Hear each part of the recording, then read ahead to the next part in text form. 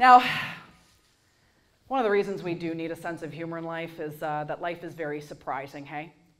I mean, really, when you look at your life, so many things didn't go according to plan, hey? Life's surprising, hey?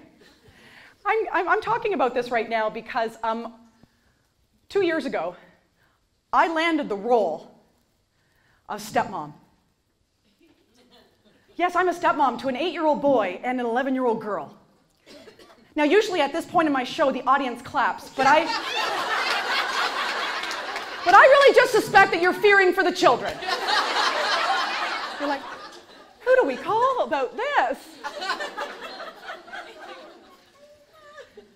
Yeah, um, yeah, so an eight year old boy and an 11 year old girl, and uh, yeah, I would say the last year has been very, very challenging because the girl, the girl went from 10 to 11.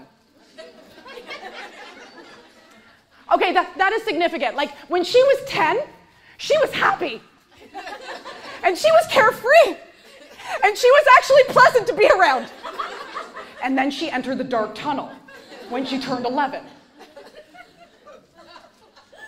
All of a sudden, all of a sudden the words yes and no have two syllables. Yes, sir. No. Uh.